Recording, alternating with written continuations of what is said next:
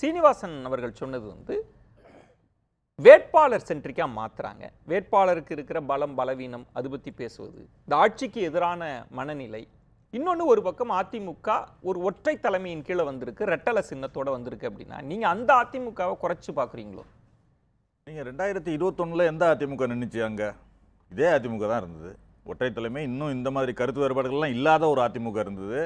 அதை தவிர கூட்டணியில இன்னும் பாமக இருந்துச்சு. இன்றைக்கு பாமக வெளியில போயிருக்காங்க.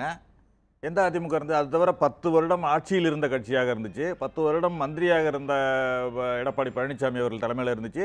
அதை தவிர நாலரை வருடம் முதலமைச்சராகவும் இருந்தார்.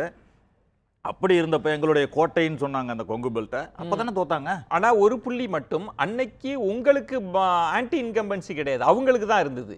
இப்ப அந்த ஆன்டி இன்கம்பன்சி உங்களுக்கு மாறி வந்திருக்குல்ல? இல்ல அதான் நான் சொல்ல வரேன்? இந்த ஒன்றரை வருட காலத்துல திட்டங்களை செயல்படுத்தி இருக்கிறார்கள் சொல்கிறேன் மூன்று முறை முதலமைச்சர் அந்த கொங்கு பெல்ட்டுக்கே போய் திட்டங்களை நிறைவேற்றிருக்கார். அப்போ சொன்னதே என்ன சொன்னார்னா அதாவது வாக்களித்த மக்களுக்கும் வாக்களிக்காத மக்களுக்கும் சேர்ந்து தான் திட்டங்களை நிறைவேற்றுவோம் அப்படின்னு சொல்லி அதை கான்சென்ட்ரேட் பண்ணி அதற்கப்புறம் வந்த நகராட்சி தேர்தலில் தான் இதில் ஈரோட்டில் முழுவதும் கைப்பற்றிருக்காங்களே.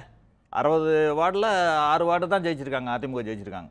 ஏன் ஜெயிக்கலையே அதே நகராட்சியில்? அது அதுக்கு பிறகு நீங்க வந்து- இதை சொல்றீங்க. இந்த கள நிலவரத்தில் இப்ப சீனிவாசன் சில முக்கியமான புள்ளிகள் எல்லாம் தொட்டு காமிச்சார். நாங்க ஒரு சாதாரண தொண்டருக்கு வாய்ப்பளிச்சிருக்கோம். ஆனா இவங்க அப்படி கிடையாது. எங்க தொண்டர் எளிதா அணுகக்கூடியவர். ஈவிகே சிலங்கோவன் அவர்கள் அப்படி அணுக முடியாது. இந்த மாதிரி விமர்சனம் உங்களுக்கு இல்ல அதே அவர் இப்ப இருக்கிற வேட்பாளர் தென்னரசு ரெண்டாயிரத்தி பதினொன்று பதினாறுல இருந்தப்ப ஐந்து வருடம் வந்து அங்க ச- சட்டமன்ற அலுவலகத்தை திறக்கலன்னு போராட்டம் நடத்தினதையும் நாங்க பார்த்தோம். அங்க சட்டமன்ற அலுவலகமே திறக்கப்படல. அவர் சட்டமன்ற அலுவலகத்துக்கே போகல ஐந்து வருடம் கட அந்த ரெண்டாயிரத்தி பதினொன்று பதினாறுல. ஏன்னா ஈரோடுன்னு ஒரே ம- தொகுதியா இருந்து பிரித்த பிறகு. அதை ஈரோடு கிழக்குக்குன்னு அலுவலகத்தை ஒதுக்குனாங்க. இவர் ஐந்து வருடம் அங்க போவே இல்லை. அந்த அந்த அலுவலகத்தை திறக்கவே இல்லை.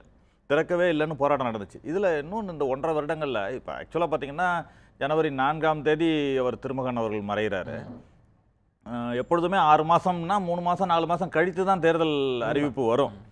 ஒரு பதினான்கு நாட்கள்லயே அறிவிப்பு வந்துச்சு. அதுவே ஒரு அதிர்ச்சி தான் ஏன்னா அந்த அந்த இதுலேருந்து விடுபடுறதுக்கு முன்னாடியே தேர்தல் அறிவிப்பு வந்துச்சு. பதினெட்டாம் தேதியே அறிவிப்பு வந்துருச்சு. இந்த பக்கம் இந்த அணி சரி ரைட் அதை அறிவித்துட்டாங்க அதை எதிர்கொள்ளணும். சரி. பத்து பத்தொன்பதாம் தேதியே அவர் தமிழ்நாடு காங்கிரஸ் கமிட்டி தலைவர் வந்து இதுல வந்து திமுக காங்கிரஸ் திமுக கூட்டணியில காங்கிரஸ் போட்டியிடும்னு அறிவிச்சு. பத்தொன்பதாம் தேதி திமுக என்டாஸ் பண்ணது. இருபது இருபத்தொன்னுலேயே அமைச்சர்கள்லேருந்து எல்லாரும் களத்தில் இறங்கி வாக்கு சேகரிக்க சேகரிக்கிறாங்க.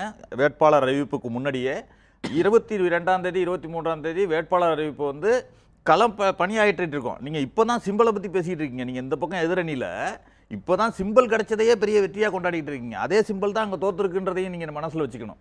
அதே சிம்பிள் ஒற்றுமையாக இருந்து தேசிய ஜனநாயக கூட்டணின்னு இருந்து இப்ப இருக்கிறது தேசிய ஜனநாயக கூட்டணியா தேசிய ஜனநாயக முற்போக்கு கூட்டணியா இல்ல தேசிய பிரிண்டிங் மிஸ்டேக் பிறகு நிறைய வரும் பிரிண்டிங். மிஸ்டேக் நிறைய வரும். நீங்க பாஜக என்னென்ன சொல்றாங்களோ நீங்க தேசிய ஜனநாயக முற்போக்கு கூட்டணின்னு காலையில பேனர் போடுறாங்க.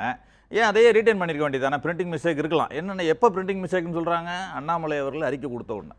அதை வந்து நாங்க சார் நீங்க இப்போ நீங்க ஏதோ பாஜகவை வைத்து அதிமுகவுக்கு நெருக்கடி கொடுக்கணும்னு நீங்க நினைச்சா சீனிவாசன் சொல்றாரு ராஜதந்திரம் தான். அவங்களால எங்களுக்கு வாக்கு வந்தா வரட்டுமே. அதை தவிர்க்க முடியுமான்னு. அதுதான் சொல்றாங்க இப்ப பாஜகவை பிளஸ்ஸா பாக்குற ஒரு பார்வையும் இருக்குல்ல? இல்லையே, அங்க அதே மேற்கு மண்டலத்துல தானே வானதி சீனிவாசன் அவங்க ஜெயிச்சிருக்காங்க இல்ல அந்த மேற்கு மண்டலத்துல தான் கிட்டத்தட்ட நான்கு மேற்கு மண்டலம்னு எடுத்துக்கிட்டீங்கன்னா முன்னாள் தலைவராக இருந்த முருகன் அவர்களும் அங்க தான் தோத்தாரு. இப்போது தலைவராக இருக்கிற அண்ணாமலை அவர்களும் அங்க தான் தோத்துருக்காரு கரூர்ல தோத்துருக்காரு. அதை தவிர வானதி சீனிவாசனும் நான்கு முனை தோட்டு போட்டியில தான் தப்பிச்சு வந்திருக்காங்க. இன்னொரு எம்எல்ஏ சட்டமன்ற உறுப்பினர் ஜெயித்திருக்கிற சட்டமன்ற உறுப்பினரும் பார்த்தீங்கன்னா இரநூத்தி எண்பது ஓட்டில் தான் ஜெயிச்சிருக்காங்க அங்கே. அங்கே ஒன்றும் வலு கிடையாது. இன்னொன்று பார்த்தீங்கன்னா கடந்த சட்டமன்ற தேர்தலில் ரெண்டாயிரத்தி இருபத்தொன்னில் மோடி இப்போ அவர்கள் படமெல்லாம் போட்டு அமித்ஷா அவர்கள் படமெல்லாம் போட்டு வரைந்திருந்ததெல்லாம் அழிச்சதை பார்த்தோம். அதெல்லாம் செய்தியாக வந்து எல்லாருக்கும் தெரியும். அதையெல்லாம் அழிச்சாங்க. ஏன்னா அந்த வாக்கு வராதுன்னு எதிர்ப்பலை இருக்குன்னு சொல்லி அவங்க அந்த மோடி படங்களை எல்லாம் அழித்து விட்டு தேர்தல் விளம்பரங்கள்லாம் செய்ததை பார்த்தோம்.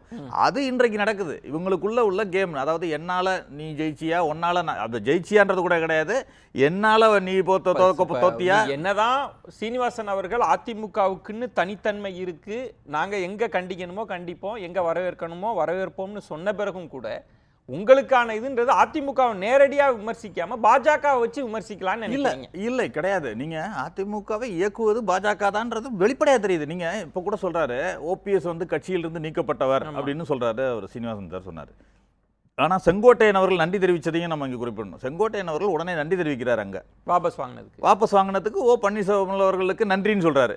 இந்த பக்கம் இங்க ஜெயக்குமார் என்ன சொல்றாருன்னா அவர் துரோகி ரெண்டு பேரும் சந்திக்கிறதுக்கான வாய்ப்பே இல்லைன்னு இந்த பக்கம் சொல்றாரு. ஆக அவர்களுக்குள்ளேயே இன்னும் ஒரு உடன்பாட்டுக்கு வரல. இன்னும் அது- அது அதையும் பா- பாஜக தான் செய்து வைக்கணும். என்ன பண்ணணும்னு? பாஜக என்ன சொல்லுதோ அதே வார்த்தைகள் தான் நிறைய விஷயங்கள்ல வருது. நீங்க இப்ப அண்ணாமலை அவர்கள் என்ன பண்றாரு? முதல்ல வந்து இபிஎஸ் அணி ஓபிஎஸ் அணி ரெண்டு பேரும் போய் இதில் பார்க்குறாங்க. சரி. அதில் இபிஎஸ் போகல. இபிஎஸ் உடைய ஆதரவாளர்கள்னு ஒரு குழு போகுது. ஓபிஎஸ் நேராக போய் சென்று பார்க்கிறார். அதற்கு பிறகு அண்ணாமலை சென்று பார்க்கிறார். ரெண்டு பேரையும் போய் பார்க்கிறார். அந்த விஷயத்தை பாருங்க. அப்ப பாத்தீங்கன்னா இபிஎஸ்ஐ பார்த்து விட்டு உடனே ஓபிஎஸ்ஐயும் போய் அவர் வீட்டில் போய் சந்திக்கிறார்.